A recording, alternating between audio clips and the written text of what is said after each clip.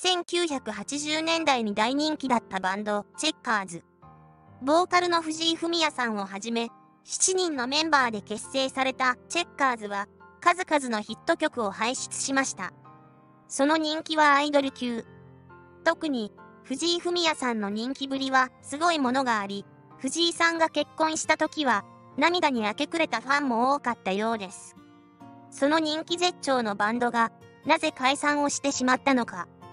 気になりますよね。それで、今回は、チェッカーズの本当の解散理由や、藤井フミヤさんと高木義彦さんの確執での訴訟騒ぎや、再結成の可能性についてまとめてみたいと思います。ぜひ最後までご視聴してくださいね。まずは、チェッカーズのプロフィールから見ていきましょう。チェッカーズは、男性7人組のロックバンドで、1980年代から1990年代前半にかけて活動しました。ジャンル J-POP、ロックンロール。活動期間1980年から1992年。福岡県久留米市で結成されて、デビュー時のキャッチコピーは退屈退治であった。チェッカーズのメンバー。藤井文也、リードボーカル通称、文也。竹内徹、ギター通称、徹。高木義彦、サイドボーカル通称、木。大戸裕二、ベース通称、裕二。鶴久正治、サイドボーカル通称、正治。徳永義也、ドラムス通称、黒兵衛。藤井直之、サックス通称、直之。チェッカーズは、1983年9月21日、ギザギザハートの子守歌でデビュー。1984年1月24日、2曲目のシングル、涙のリクエストをリリースして、チェッカーズの名を一躍全国区に押し上げる大ヒットとなりました。5月にリリースした3曲目のシングル、悲しくてジェラシーもヒット。3曲がオリコンチャートやランキング番組のベスト10内に同時ランクイン。チェッカーズは社会現象化し、ファッションなどにも大きな影響を与える。第35回 NHK 紅白歌合戦初出場して、以降解散まで9年連続で紅白出場。シングル、ジュリアにハートブレイクがオリコンチャート年間第1位。ブロマイドの年間売上実績でも第1位を獲得。初のメンバー制作シングル7を発売しましたが、NHK で放送禁止になり話題になりました。1987年、全曲メンバーオリジナルのアルバム5を発売。直之さんがメンバー初のソロデビュー。これを機に、徐々にメンバーのソロ活動が増える。1988年夏、同年3月に落成されたばかりの東京ドームでコンサートを行う。12月、フミヤさんが出演した CM 用に収録された楽曲、マザーズ・タッチが自身のソロシングルとして発売。しかし、チェッカーズのメンバーとして在籍している間はソロ活動をしない理由から音楽番組からオファーがあっても出演を辞退した。1989年、鶴久さん、高木さんが相次いでソロ CD デビュー。1990年6月、フミヤさんが結婚。同年12月に高木さんが入籍。1991年、フミヤさん及び高木さんに、それぞれ第一子が誕生。1991年の年末から始まったレコーディング中に、フミヤさんより他のメンバーに対して、解散の希望が伝えられ、竹内、大土井、直行が賛成、高木は反対、鶴久と徳永は保留としたものの、プロダクション社長の決定により、1992年末の紅白歌合戦を最後に解散することが決定した。10月9日放送テレビ朝日ミュージックステーション内で、正式に解散を発表。12月にラストツアーを行い、12月31日の第43回 NHK 紅白歌合戦出場を最後に解散。チェッカーズ解散後、フミヤ、竹内、大土井、直行は所属事務所を退社、それぞれソロ活動を行う。竹内は、本人主催のイベントや音楽プロデュース、鶴久と高木は、同じ事務所に所属、音楽以外の活動をしていたが、高木が2005年個人事務所設立に伴い独立。鶴久、徳永も所属事務所から退社し、徳永は別のバンドで活動。竹内、大土井、徳永、直之の楽器人4人は、アブラーズを結成、活動していたが、徳永が2004年8月17日に、舌がんのため40歳で死去したため、現在は3人で活動。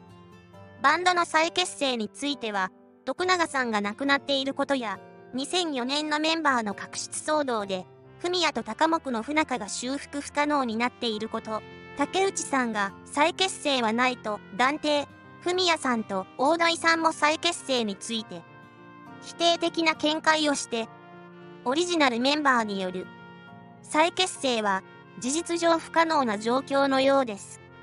そんなチェッカーズ内の確執は1992年からで、文也さんと高木さんの確執が表面化したのは、1992年の解散の時です。ここまで溝を深めた原因について見ていきましょう。確執の始まりは、文也さんがチェッカーズを解散したいと言い出し、メンバー7人の多数決で解散を決めたことだと言われています。多数決の結果は、解散に賛成4人、藤井文也、竹内徹、大戸裕二、藤井直之。解散に反対、3人。高木義彦、鶴久正治、徳永義也。チェッカーズは、1992年の紅白歌合戦を、最後に解散となりました。解散に反対だった高木さんにしてみれば、多数決であっけなく終わってしまったわけですから、本当に悔しかったのかもしれませんね。さらに、その後、チェッカーズの不仲の溝を深めたのは、高木さんが書いた暴露本、チェッカーズです。同書の中で、高木さんはまるで文也さんが、解散の先般であるような書き方をし、内容は、文也さんへの批判が多く書かれていて、出版すると、ワイドショーで騒ぎとなりました。この本は、高木さんが胃がん大手術をした翌年の2003年に出版されています。生きるか死ぬかの大病の直後に、わざわざ仲間の悪口を書いた。暴露本を出版しているわけですね。高木さんは、なぜ、こんな本を書いたのでしょうか？一説には、食いぶちに困ったのではと言われています。そもそも、文也さんと高木さんの二人は、保育園から中学校まで同級生でした。文也さんは、高校時代にバイクの無免許運転で無期定額処分になった過去があり、高木さんは不良グループの番長格で、傷害事件絡みで、警察の事情聴取を受けたことがあります。似ているように見える二人が、決定的に違ったのは、音楽の才能とキャリアでした。言うまでもなく、チェッカーズの基礎を作ったのはフミヤさんです。フミヤさんは、1980年にメンバーの竹内徹さんと2人でバンド結成し、1981年には、ヤマハの音楽コンテストで優勝して、デビューの道筋を作りました。一方、高木さんは、幼馴染の文也さんに頼み込み、テストを2度受けてチェッカーズに加入したという経緯があります。しかも、高木さんは、楽器が弾けないため、チェッカーズでの担当はサイドボーカルのみ。鶴久さんも、高木さん同様にサイドボーカルですが、チェッカーズのヒット曲を数多く作曲していて、解散後も印税で食べていけます。他のメンバーも元チェッカーズの知名度で、なんとか食べていけそうですが、高木さんにとって解散したら食べていけない。問題は切実だったことでしょう。癌になって死に直面したことで、スターであり続けるフミヤさんとの格差を感じてしまったのでしょう。確執の原因のもう一つは、チェッカーズのメンバーだった徳永義也さん、去年40歳が、舌がんで他界した時、2004年のお別れの会の発起人から外されたことです。外されたのは、高木さんと鶴久さんの二人。とはいえ、解散以来、徳永さんと交流がなかったそうなので、発起人じゃなくても不思議じゃないですが、本人は納得できなかったようでした。この時もマスコミを巻き込んで怒りをぶつけ、チェッカーズの確執として話題になりました。もはや、確執は修復不可能な印象が否めませんが、文江さん側からは、応戦することなく生還しています。そもそも、騒動になった高木さんの暴露本、チェッカーズの内容は、どんなものだったのでしょうか？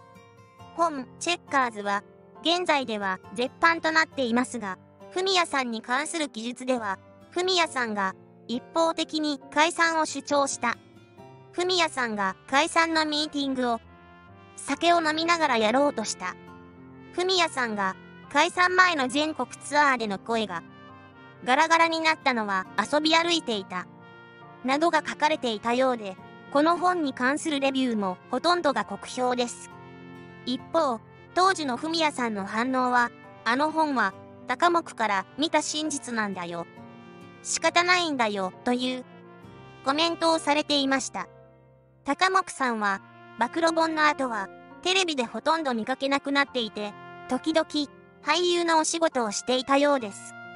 2023年現在は芸能活動からは離れているようで、埼玉県にある妻の実家の旅館を共同経営者として手伝っていて、すっかり一般人として暮らしているようですね。今回は、チェッカーズの解散理由についてまとめてみました。解散の理由や徳井さんのお別れ会などについては、様々な情報があり、真実を見極めるのは、とても難しいですが、どの情報にも共通していたのは、チェッカーズ活動中に、メンバーのソロ活動が忙しくなってしまった、何らかの理由で、藤井フミヤさんが抜けたい、解散したいといった意見が分かれたまま、和解できなかったということについての3つは信憑性が高そうですね。名曲をたくさん世に出してくれた。チェッカーズが残してくれたものは大きかったですね。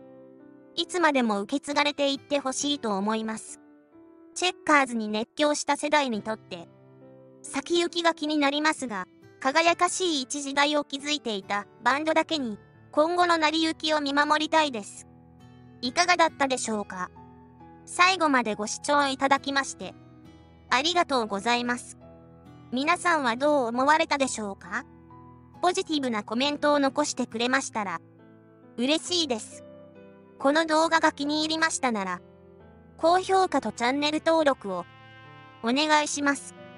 それでは、またお会いしましょう。